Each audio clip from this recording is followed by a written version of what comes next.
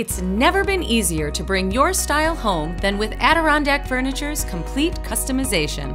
The main advantages of customizing a piece of furniture is number one, you know that it's going to be comfortable for you.